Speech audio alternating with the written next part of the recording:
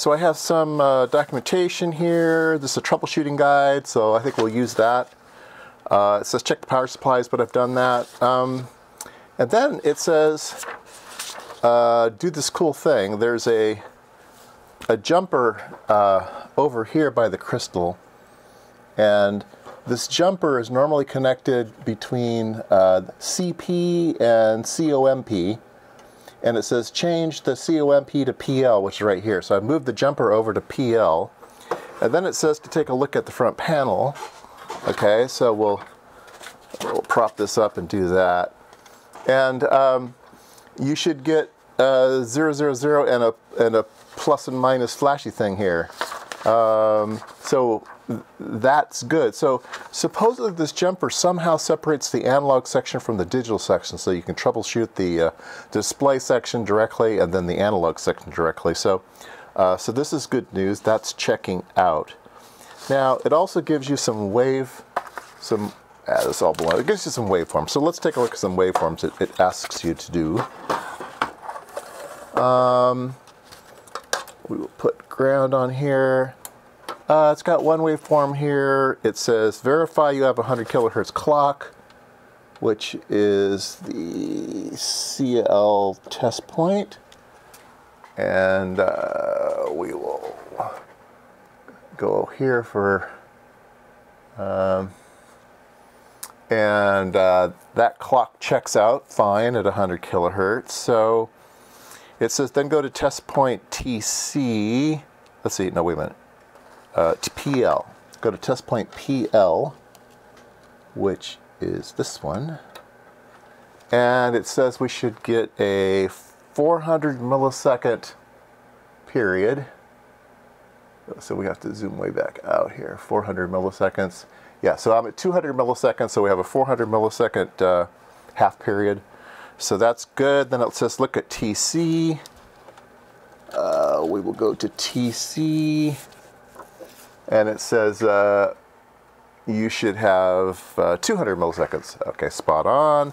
And it says go to RS. So we go to RS and it says you should be getting a little pulses. And if we zoom way in, oh, there we go, there are little pulses. And it says those should be about 100 microseconds. We're 100 microseconds per division. And when we get one, yeah, it's about 100 microseconds. So that's working good. Okay. Then it says that we should be looking at, let's see, maintained jumper, and then look at U9 pin 3. Okay, U9 pin 3. All right, so can we, let's see if I can get this all on the camera. Let's see here. Okay. Uh, U9 pin 3. So U9 is, uh-oh, I've got the wrong, uh, one, two, three, I've got the wrong, so the, the user manual has a bunch of these. Uh, can you see that? Yeah. Um, has a bunch of these layouts. And there's multiple revisions of this board. And this is not the correct revision of this particular board. So I'm to have to go back and look at the user manual and try to figure out where U9 is, or can I just use my, uh, I, I want it printed out anyway, so let me go print it out and uh, come back. Okay, just my luck. Um, this says it's a um, 3465A, but the board is a 3465B. Uh, yeah, uh, so this is the uh, layout of a B version, and that's the board I've got is a B version board. So I, I don't know what's going on. Uh, either the front was changed or they were just going through the cycle of changing over, but hadn't ran out of front panels yet or something. I don't know. Anyway, it is a B, so the troubleshooting will be different. Um, yeah. So I guess I'll follow the troubleshooting guide for the B version, which seems to be much, much more extensive than the uh, than the A version was. So, so that's kind of weird. Uh, but um, I did get a bunch of schematics and block diagrams and stuff for this thing, so yeah, that will help out. Um, some things are common though. I mean, obviously I was measuring it like an A and we're getting the right waveforms and stuff. And the jumper thing, that was the same between the A and the B versions, so that's pretty much the same. Um, yeah, but the B version has some things that, some tr troubleshooting steps that uh, can't quite figure out quite yet, but uh, yeah, we'll go, we'll go from there. All right. Um, so whenever you're troubleshooting something, it's kind of nice to know what it is that it's supposed to be doing. Um, kind of get a, a, general a general feel for it because this thing, it's difficult to troubleshoot because it's kind of all kind of intermixed. Um, now, when you put that jumper on there, what you're doing is you're breaking it right here. You're, you're letting this operate all on its own. So basically, this part of the system is working fine. And so the problem is somewhere over here. So, so what, do the, what do these two systems basically do? We'll call this the analog system and the digital system. The digital system counts. It's just a counter. It's a counter and a latch. And so it counts and then it puts the number there. And if it counts correctly, it will display a voltage over there or, a, you know, ohmage or something. But it's, it's just a counter. And it counts between two pulses, right? You give it one pulse and then it counts, and you give another pulse and it stops counting. And so it's relying on the distance between these two pulses in order to give you the right value over here. So what are these magic two pulses? Well, those two pulses come out of a comparator. And um, it's a dual slope integrator, so you integrate up and then you integrate down, and it's going to count when a comparator fires on the on the way up and a comparator fires on the way down, and uh, it's going to have a slope. And so it's called a dual slope integrator. So one slope is fixed. You know what that slope is, and that's set with a 10 volt reference. And then the other slope is the voltage that you've input. And so the two slopes will be different, and the length of time will be different, and that will be displayed as voltage on the output. So anyway, when you break this right here, you're letting this run separately, and so it seems to be working just fine. So somehow our, our dual slopey thing is, not working right, and uh, we can look at the uh, comparator uh, output, right? And so uh, this is a lot of stuff going on here. Um, the input comes in here and then it goes through and uh, there is an output for the comparator which is this thing over here okay so this is the the output of the whole comparator system and we can turn this on and hook up our ground to the right spot here. Put around here. Okay, so we, we are getting a signal on our comparator and that's when it's operating correctly. Well, the, the comparator will fire and you can see that it's kind of doing weird things. Um, the uh, I need to lower you down here. The the display is is sort of fluctuating, which means we're getting comparators signals and it's counting between those two and we're getting some arbitrary count count between the two. And there's no decimal place and stuff. So obviously something funny going on. So the timing is all off and everything but it is it is giving pulses. Now um, under certain circumstances, it won't give you into these pulses. Now, um, if I place it, I, I haven't, uh, I put it in AC. Now when I hook it up to DC, it freezes. I don't know if you can see that up there. Ah, sorry about this terrible camera work.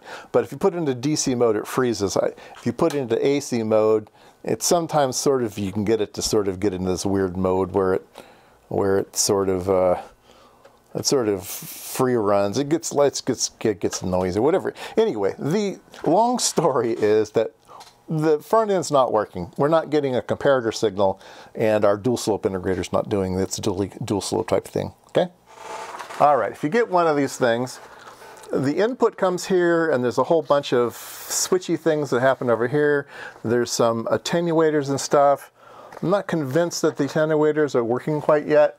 Uh, it may be that the whole front end is just the problem. Uh, there might be just a bad switch. There's a whole bunch of switches in here you can see. It could be that one of these switches is dirty or not making contact or broken or whatever. It, it might be as simple as that. I, I don't quite know yet. Um, but basically in volts mode, this whole page is basically ignored and you go to page two. And on page two, you come into this uh, uh, FET input op amp. Uh, they had to do their own, so it's a, a, dual FET package here. But anyway, it's a FET input op amp.